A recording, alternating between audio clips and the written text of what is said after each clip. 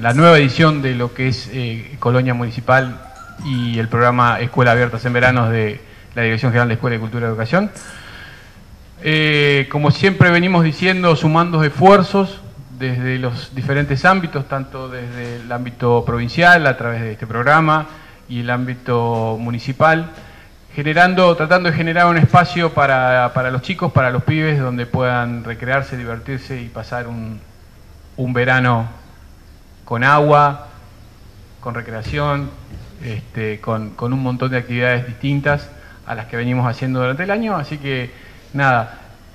como siempre digo, sumando esfuerzos, tratando de generar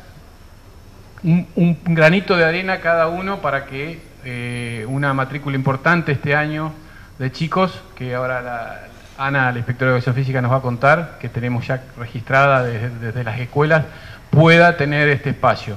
Agradecerle desde, desde mi lugar, desde la Dirección de Deportes, al Club Náutico, que es con quien hemos armado el convenio para que la colonia y la escuela abierta en verano se lleve a cabo. Sin, sin este lugar, sin este espejo de agua sería imposible. Así que nada, los dejo con Graciela, otra pata importante. Bueno, sí, el Consejo Escolar eh, también eh,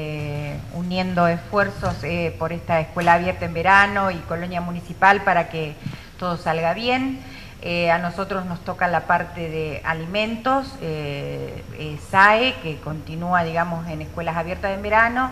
y la parte de transporte, que va a ser íntegramente cubierta por el fondo educativo, va a ser pagada íntegramente por el fondo educativo. Así que, bueno, un agradecimiento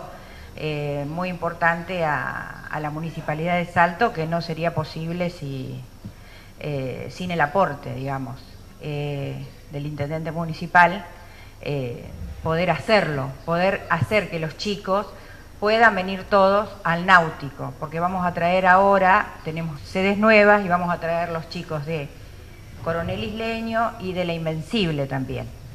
Además, que parece que también vamos a tener que traer Inés Indar. Así que, bueno, un gran esfuerzo.